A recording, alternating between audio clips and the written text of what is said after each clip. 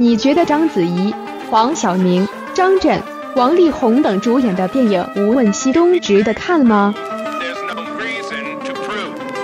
你觉得章子怡、黄晓明、张震、王力宏等主演的电影《无问西东》值得看吗？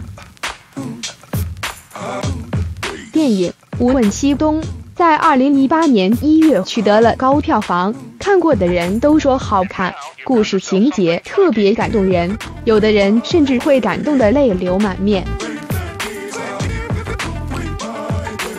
章子怡称。拿到剧本第二天就去欧洲了，在飞机上看剧本时，看到一半就被感动的泪流满面，合上剧本不敢继续往下看了，但是又好奇接下来结局会是什么，最后是很好奇、很挣扎的看完了剧本。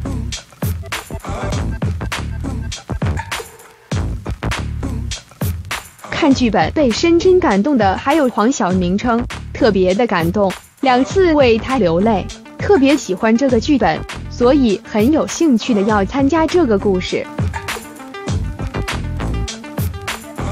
这部戏戏里戏外角色和演员都有一种难能可贵的精神与品质，对自己爱的人和对自己奋斗目标奋不身的全身投入其中。王力宏在拍这部戏时。坚持不用替身，有一场他要钱翻滚的戏拍了十九次，第十九次过了，工作人员赶紧冲上去，因为他的肩膀磨出血来了，渗透了戏服。可是王力宏却很开心的凝聚着那场刚过的监视器回放的表演，根本没有在乎自己已经受伤出血的肩膀。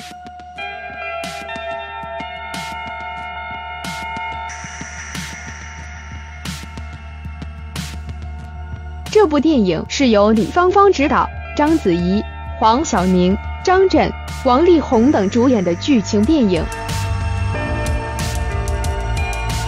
都是知名有实力的大明星阵容。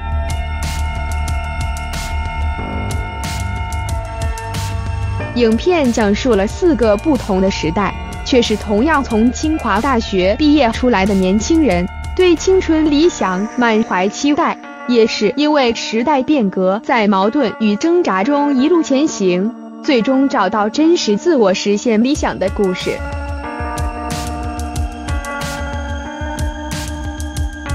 这应该是部很励志的电影，不惧怕任何困难，也要咬紧牙关，永远不会放弃心中理想，努力自信、勇敢的向前看。只要相信自己能成功，理想会向你招手靠近的。绝对不能让烦恼、挫折打败自己。